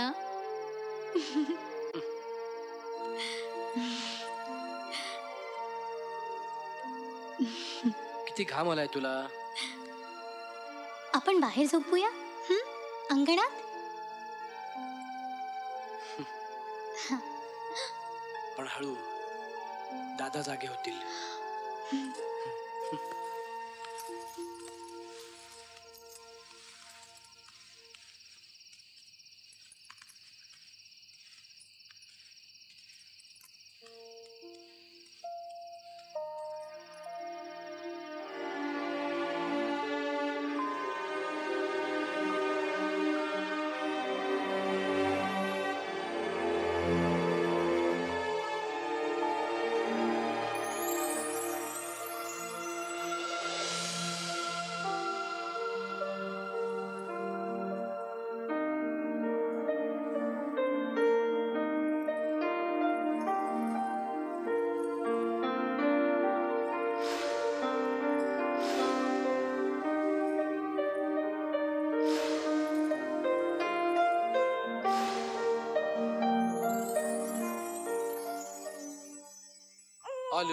नाही रडायचं नाही रडायचं नाही. ओ हो हो काय झालं? काय झालं तुला? काय झालं? आणि आणा माझ्याकडे. मी दोन मिनिटात गप्प करतो. ये ये. आ आ आ आ आलं ल ल ल ल कशा पायी रडतो? काय झालं? काय झालं? कशा पायी रडतोय? काय माहिती? काय झालं? का रडतोय रे? का- तुझ्याकडे आहे का तो? अरे तुला बघून मोठी माणसं सुद्धा रडतील. ते तर बाळ आहे. नाही ते आणि इकडे कशाला काढलं पाळण्यात ना नाही ते आपलं या या या या या या. काय? अं, काय झालं बाबा तुला? कोण राज हो हो हो हा हा हा का हा नाही, नाही, रडू नको रडू नको रडू न- रडायचं नाही ओ ओ पाळण्यात पाळण्यात ठेव पाळण्यात. आले. काय कुठे होता तुम्ही इतका वेळ काय झालंय माझ्या रडायचं बाळाला थांबत नाही तो काय झालंय का रडतंय माझं बाळ? कोण काय झालंय बाबूला माझ्या हा कोण आहे माझ्या डॉक्टरला बाळाला. कोण कोण काय बोललं कोणी दृष्ट लावली माझ्या बाळाला हा मी जरा जाऊन येतो. मी पण येतो दादा. इकडे बघ इकडे बघ माझ्याकडे बघ. काळजी करू नका तुमच्यावरती गेलंय ते. तुम्ही लहान होतात तेव्हा असेच रडत होतात.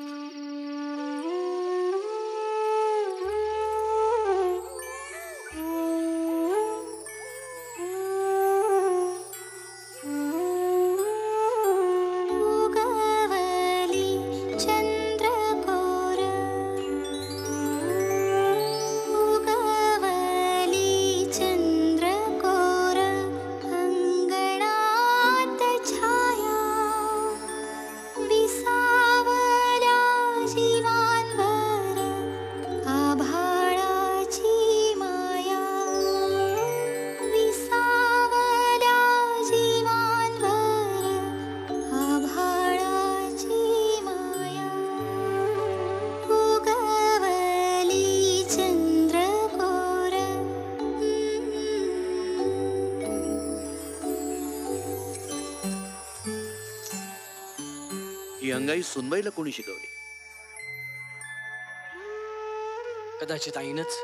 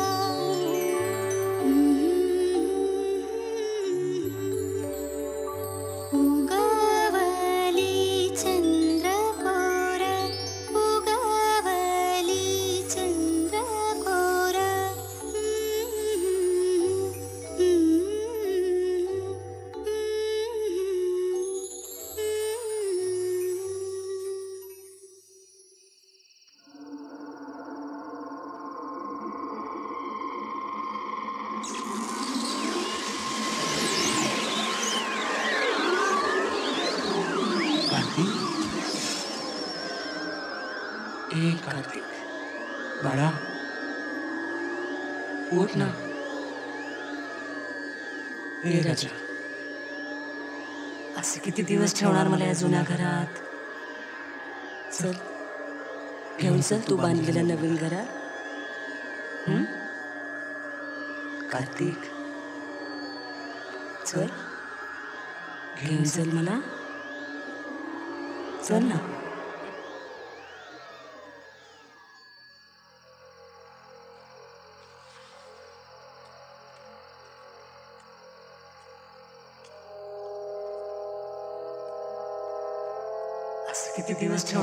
जुन्या घरात. घेऊन चल तू बांधलेल्या नवीन घरात.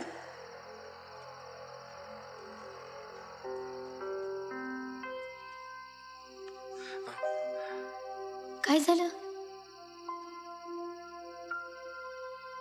ती आली होती स्वप्नात. कोण? आई. म्हणत होत्या?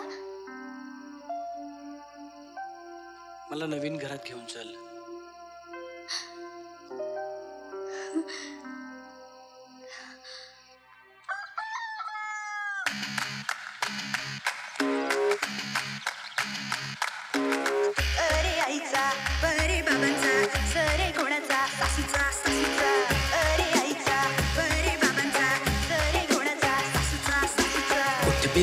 गाळू नको हात पाय लढल्या विना हाती काही येत नाही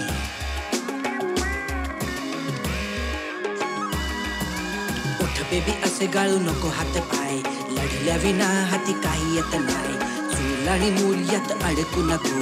कपाळ फुटेल असे धडकू नको।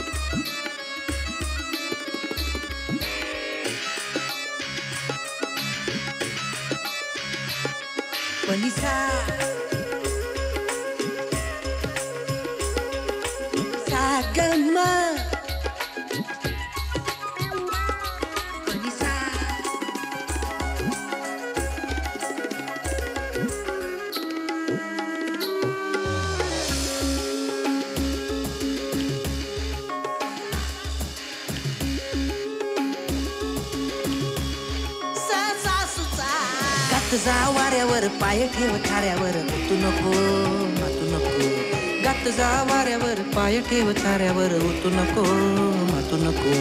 खेत लावू असा टाकू नको. इथं थांब तिथं थांब. असं चालायचं नाही. इथं थांब तिथं थांब. असं चालायचं नाही.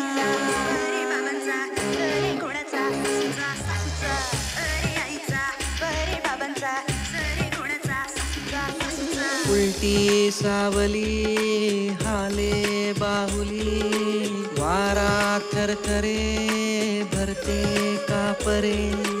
उलटी सावली हाले बाहुली. वारा थरथरे भरते कापरे. उलटी सावली